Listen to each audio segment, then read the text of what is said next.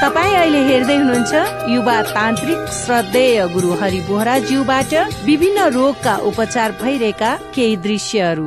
यस्तो समस्याको लागि सम्पर्क नम्बर अन्ठानब्बे चौवालिस एक्काइस चौबिस पैतिस।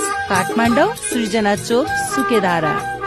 जयस टिभीको विशेष कार्यक्रमको प्रतीक्षामा बस्नुभएका सम्पूर्ण आदरणीय दर्शक महानुभावमा म कार्यक्रम सञ्चालिका भगवती आचार्यको तर्फबाट नमस्कार। दर्शकबिन तपाईँहरूमा हामीले जयस टिभी मार्फत विशेष गरेर कुल पितृको बारेमा जानकारी दिने गरेका छौँ। कुल पूजाका लागि उपस्थित रहनुभएका भक्तजनसँग तपाईँमा जोड्न चाहन्छु। हजुरलाई स्वागत छ जयस टिभीमा। म ओखलढुङ्गा चम्पादेवी दस रानीवन तारुके निवासी।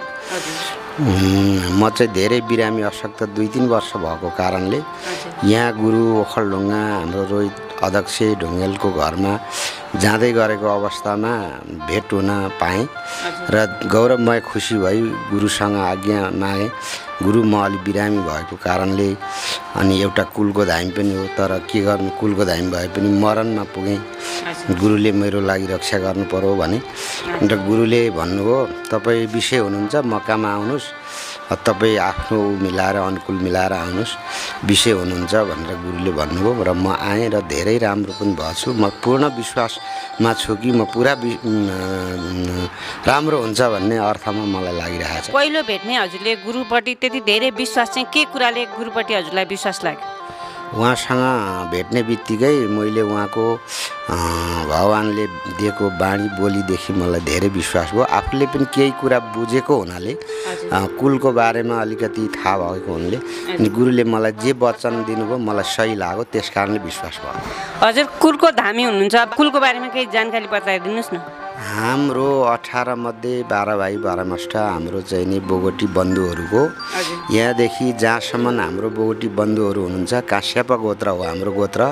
कतिपयले शिवनाम गोत्र भनेर चाहिँ अझै भुलिरहनु भएको छ। उहाँहरू त भ्रममा नपर्नुहोस्। म पनि धेरै बिरामी भएर धेरै दुःख पाएर धेरै सङ्गतहरू गरेँ तर पनि मैले कुलको अर्थमा पुग्नलाई धेरै गाह्रो भयो। तिन वर्ष चार वर्ष लाग्यो। र अनि आफै भगवान्ले मलाई एउटा सत्शक्ति के दिनुभयो भने हामी यति मध्येको यस्तो मष्ट हो। त यो यो बाटो हिँड यो यो अर्थ गर। अनि चार जुगका कुराहरू दिनुभयो अनि त्यो भगवान्ले चाहिँ नि मलाई के दिनुभयो भन्नुहुन्छ भने आफै अब एउटा अचम्मको कुरा छ। म आफैलाई थाहा छैन। हामी यति मध्येको यस्तो मष्ट हो। अनि हाम्रो चाहिँ नि यो यो रेखी भेटीदेखि लिएर हाम्रो शङ्ख घन्टदेखि लिएर चम्मरदेखि लिएर हाम्रो बाजागाजा हाम्रो यस्तो यस्तो फुलहरू जस्तो फुलको बारेमा के दिएको छ भन्नुहुन्छ भने पारिजात अनि त्यहाँबाट सयपत्री अनि जाई र जुई। यति चार थरीको चाहिँ हाम्रो फुलको एकदम कुलको अर्थमा योग्य राम्रो पवित्र फुल हो भनेर दिनुभएको छ। अनि सत्य द्वापर तीर्थ कली चार जुगका व्याख्या वर्णहरू दिनुभएको छ। अनि गुरु उहाँ हाम्रो अठार भाइ मध्येका गुरु महाशिवजी उहाँको नाम दिनुभएको छ। अनि मलाई यस्तै यस्तै गरेर धेरै कुराहरू भगवान् एउटा अचम्मको वस्तु म आफूलाई केही थाहा नभएको हिजो पनि अस्ति पनि हाम्रो एक सय छत्तिस वर्ष चाहिँ कुलको नाम सिद्धिएर तपाईँको धुपधमरसम्म सिद्धिएको अनि हाम्रो कुलको अर्थमा उत्तर उत्तरपट्टिको चाहिँ नि द्वार हुनुपर्ने उत्तरमुखे नै हुनुपर्ने। अहिले पूजाआजा गर्दा पनि म कुलको दक्षिण पिठे उत्तरमुखे। ज जति हाम्रा देवालय गुरुहरू हुनुहुन्छ अरे उत्तर बेलमा हिमालयको उसमा अब त्यो कुराहरू धेरैले बुझ्नु भएको छैन भने बुझिदिनु होला अनि केही थाहा छैन भने भोलि थाहा पाउन सकिन्छ। र यस्तै यस्तै अनि अहिले धेरै वर्ष भयो अठार बिस बाइस वर्ष भयो मैले चाहिँ कुलको अर्थमा पूजाआजा गरेको। यस्तै छ हामी बोटी बन्धुहरू। एकचोटि मलाई सिन्धुपाल्चोकमा पनि झिकाउ भएर गएको। त्यहाँ अलि एकजना व्यक्तिले अलि तपाईँको विश्वास नगर्दाखेरि अरू भाइहरू पनि त्यहाँ मिले महत्त्वमा भनन् अनि मैले त्यसलाई ऊ पनि लिइनँ म फर्केर आएँ। अब म गुरुको उसबाट चाहिँ म अब यो पल्ट चाहिँ बाँच्ने सफल भएँ भन्ने मलाई विश्वास छ। हजुरले पहिलो भेटमा गुरुलाई यति धेरै विश्वास गर्नुभयो र आफ्नो समस्या पनि समाधान भयो भन्नुहुन्छ। गुरुपट्टि हजुरले के कुराले चाहिँ त्यति धेरै आकर्षित हुनुभयो? भने नि मैले रोहित ढुङ्गेलको घरमा उहाँको छोरी बिरामी भएको कारणले उहाँ यहाँदेखि काठमाडौँदेखि आफैले गाडीमा पाउ कष्ट गरेर आफ्नै खर्चले उहाँ पुगेर उ गर्दाखेरि मैले रोहित मेरो अध्यक्ष भाइलाई गुरु आउनुहुन्छ भन्ने चाहिँ कता कति अरूले नै जानकारी गरेका थियो। आउन चाहिँ आउने कहिले आउने भन्ने टुङ्गा थिएन। अनि मैले गुरु आउने कुरा छ अरे भनेर श्रीमतीलाई भन्दा ओहो आइसक्नुभयो कि तपाईँले फोन गर्नुहोस् त आज भनेर श्रीमतीबाट भन्दा फोन गर्दाखेरि गुरु आउनु भएको छ हिँड्ने बेला भयो भन्नुभयो। अनि हतार हतार मैले भने कि अध्यक्षज्यूलाई अब भाइ पाँच मिनट रोकिदिनु म कुद्दै कुद्दै आउँछु मलाई गुरु नभेटी भएको छैन। भने मेरो आत्माले के भन्यो भने उहाँलाई भेटेँ भने म पक्कै पनि सफलता हुन्छु। आत्माले भनौँ उहाँलाई भेटेँ उहाँले मलाई केही ज्ञानहरू दिनुभयो अनि भन्नुभयो कि तपाईँ काठमाडौँ आउनुहोस्। म तपाईँको सयमा सय हन्ड्रेडमा हन्ड्रेड तपाईँ विषय हुनुहुन्छ विषय पार्छु म भन्नुभयो अनि म आज चाहिँ नि तिन चार दिन भएको अनि हिजोबाट मलाई अलिक कम भयो गुरुबाट चाहिँ नि मलाई राम्रो भएको छ। कुल देवता मान्नु पर्दैन कुल देवता नि हुन्छन् र भन्ने पुस्ताहरू धेरै हुनुहुन्छ। तपाईँ एउटा कुलको धामी भएको नाताले यो भनाइलाई के भन्नुहुन्छ? यो हाम्रो नेपाली हिन्दू संस्कारमा धेरै मान्छेहरूको धेरै दिमागहरू फरक फरक छ। म पहिलाहरू अब यो पहिला पहिला म पनि योभन्दा अठार बिस वर्ष अगाडि यो कुनै पनि झुकाव हो यो राम्रो काम होइन भनेर म यो धनन्तरी कामलाई म आफै भन्ने गर्थेँ। अनि जो जो मेरा आदरणीय दाजुभाइ कोही पनि नरिसाउनु होला ढ्याङ्ग्रो ठटाएर बलि बोकिदिनुहुन्छ नि म पनि कुलकै अर्थको मान्छे भए तापनि यो तपाईँको काटमार गरेर त्यस्तो बलि दिएर चाहिँ कुनै पनि अर्थ हुँदैन मेरो लागि त्यसमा मेरो उ नै छ। तर अब नगरी नहुने कुरालाई त गर्नुपर्छ भगवान् सबै भगवान्को सृष्टि हो मलाई विश्वास छ। अनि त्यसपछि म आफैले आफै उ गर्नु परेपछि धेरै कुराहरू बुझेँ। धेरै बुझेपछि अनि म धेरै भगवान् यो कुलको अर्थले श्रीमद् भागवतदेखि लिएर अठार पुराणदेखि लिएर महाभारतदेखि लिएर कृष्ण चरित्रदेखि लिएर तपाईँको देवी भात कलिको थोरै व्याख्या बुझ्दाखेरि तपाईँको भगवान्को धेरै शास्त्रहरू पनि मिल्छ यो हाम्रो कुलको व्याख्यामा। अनि त्यस कारणमा म धेरै विश्वस्त छु। गुरुहरू त्यहाँमाथि पनि म अहिले आएको मेरो गुरुको त मलाई सम्पूर्णै पुरै विश्वास छ। दर्शकबिन कुल देवता मान्नुपर्छ र हाम्रो पुरानो रीतिरिवाज धर्म संस्कारलाई जोगाउनुपर्छ भन्ने मूल अभियानका साथ जय होस् टिभी अघि बढिरहेको छ र त्यसमा पनि गुरुदेवको मिठो वचन अनि गुरुदेवले गर्नुभएका प्रत्येक क्रियाकलाप हामीले जय होस् टिभीबाट प्रत्यक्ष रूपमा तपाईँ माझ देखाएका छौँ। हजुरलाई स्वागत छ जय होस् टिभीमा। नमस्ते म मेरो नाम देवबहादुर खत्री। कहाँदेखि म पाल्पादेखि आएको। पाल्पादेखि आज काठमाडौँसम्म के को लागि? म यही कुलपितृको लागि नै हो। कुलपितृ खोजीमा हुनुहुन्छ कि? कुल- त मान्ने दाजुभाइले तर म यहाँ आइसकेँ उहाँ गुरुजीको भिडियोहरू देखेँ मैले होइन युट्युबमा। यहाँको गराइ र हाम्रो कुलको गराइमा नमिल्दाखेरि जस मलाई पनि काम नै छप्ने यताउता भइरहेको हजुर। त्यसैले नै अब गुरु एउटा मलाई फेरि गुरु खास गरी मेरो पुर्ख्यौली कहाँ भन्दा दाजुभाइले वास्ता गर्नु भएन। त्यसमा अब दाजुभाइले पनि अब जय होस् टिभीको कार्यालयमा गर्ने कुलपितृको अ, पूजापाठ र हजुरको वंशमा गर्ने कुलपितृको पूजापाठमा के भिन्नता भेट्नु? धेरै भिन्नता।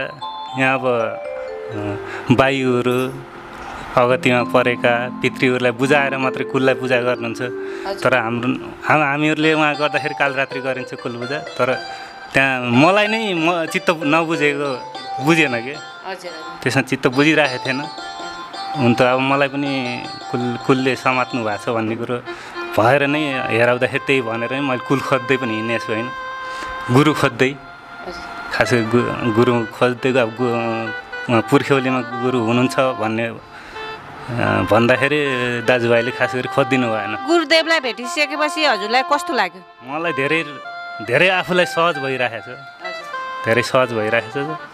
त्यसैले म पहिला पनि आएको थिएँ बाइस गते आएको थिएँ योभन्दा अगाडि चण्डी पूर्णिमामा आएको थिएँ। त्यसपछि धेरै सहज भएको छ। के भन्न चाहनुहुन्छ गुरुदेवलाई?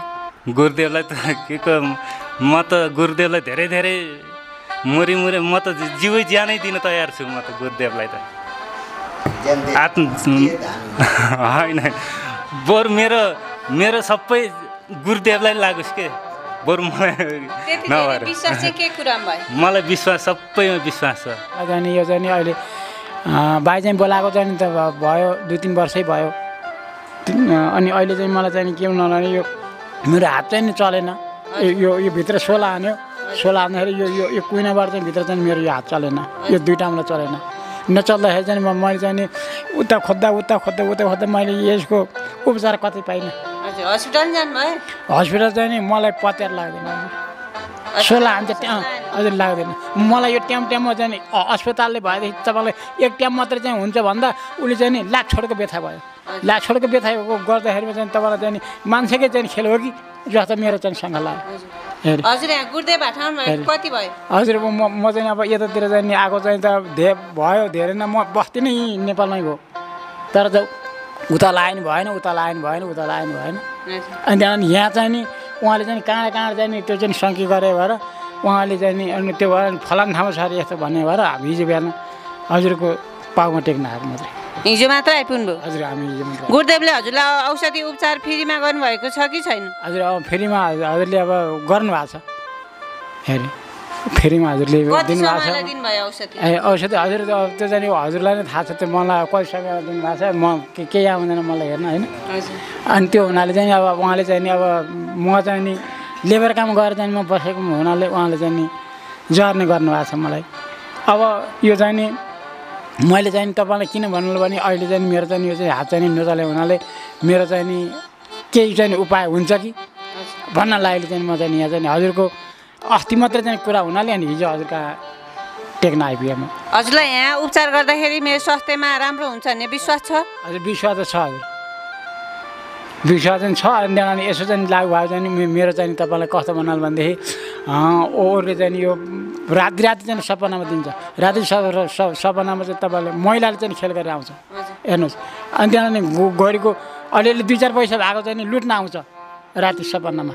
ल्याएर अनि त्यहाँदेखि त्यस हुनाले चाहिँ नि दुई पैसा चाहिँ नि स अहिलेसम्म चाहिँ मैले चाहिँ टोको बोकेर चाहिँ कमा पैसा स भनेर चाहिँ दुई पैसा पनि छैन जति कमाए हजुर त्यति स्वा भइरहेको गइरहेको छ हेर्नुहोस् अनि त्यो हुनाले चाहिँ म चाहिँ नि अब कहाँ केबाट चाहिँ उपाय गरौँ भन्दा मेरो उपाय केही पनि छैन हजुर अब र त्यसको लागि चाहिँ म चाहिँ घुम्दै घुम्दै घुम्दै घुम्दै डुल्दै डुल्दै हजुरको चाहिँ पाउँ बल्ल बल्ल चाहिँ म आइपुगेको छु जय होस् टिभीको कार्यालयमा के को लागि आज कुलदेवता पूजाको लागि?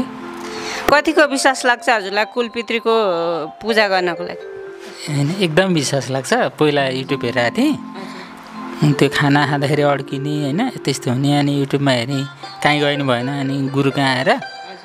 अनि औषधि पनि दिनुभयो एकचोटि गरिदिनु भयो फेरि तिनचोटि गर्नुभयो अनि त्यहाँबाट अहिले राम्रोसँग खाना खान सक्छु होइन।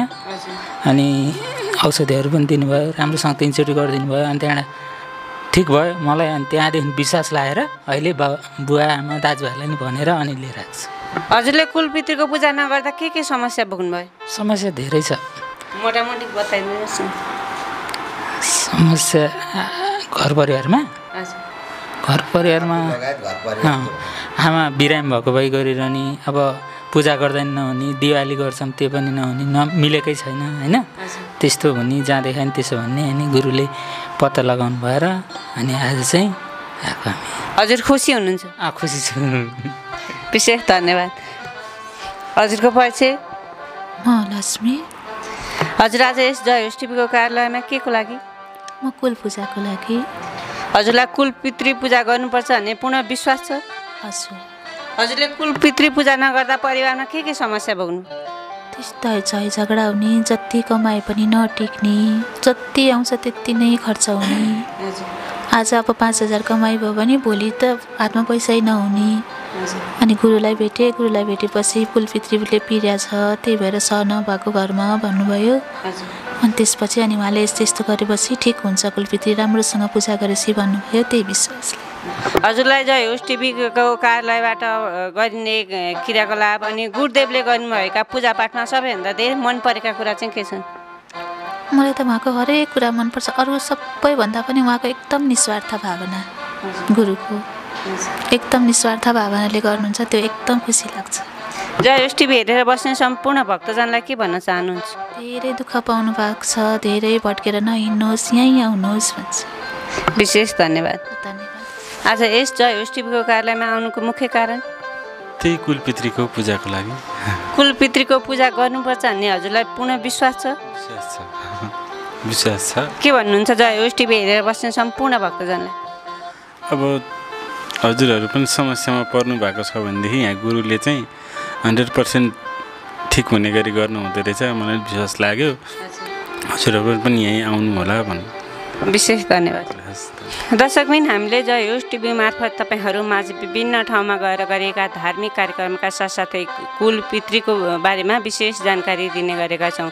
विभिन्न ठाउँमा गएर तान्त्रिक र वैदिक विधिलाई मध्यनजर राख्दै तान्त्रिक एवं ज्योतिष गुरु हरिबोराज्यूबाट गरेका प्रत्येक कार्यक्रमहरू तपाईँ माझ राख्ने गरेका छौँ। गरिबी दिन दुखी असहाय अपाङ्गलाई सहयोग गरेका झलकहरू पनि प्रत्यक्ष रूपमा तपाईँहरू माझ राख्ने गरेका छौँ।